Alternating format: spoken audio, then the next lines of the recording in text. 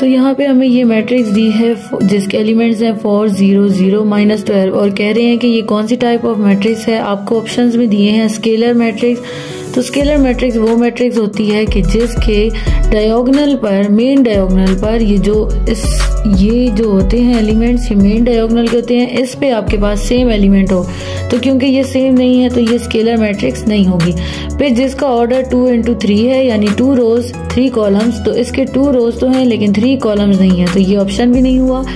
फिर नेक्स्ट है a diagonal matrix diagonal matrix वो होती है जिसके मेन डायगोनल पर नॉन ज़ीरो एंट्रीज हो और बाकी सारे एलिमेंट्स ज़ीरो हो। तो आप देखें मेन डायगोनल पे फोर और माइनस ट्वेल्व आ रहा है, दोनों नॉन ज़ीरो हैं और बाकी एलिमेंट ज़ीरो हैं।